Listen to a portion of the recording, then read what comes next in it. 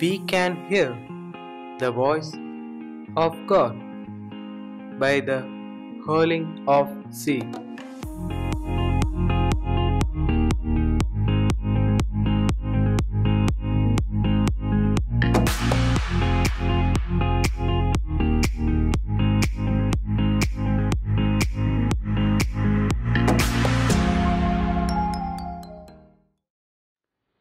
Creative Hut Institute of Photography.